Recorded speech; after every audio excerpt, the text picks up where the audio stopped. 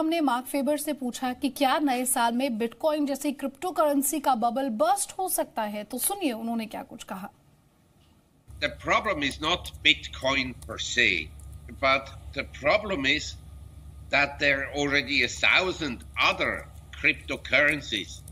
And by the end of 2018, there could be maybe 10,000 different cryptocurrencies. So the supply is going to increase, and the speculators will move into the ones that move up. And Bitcoin is maybe the one that is the most stable. It may not go to zero, but it will also go down.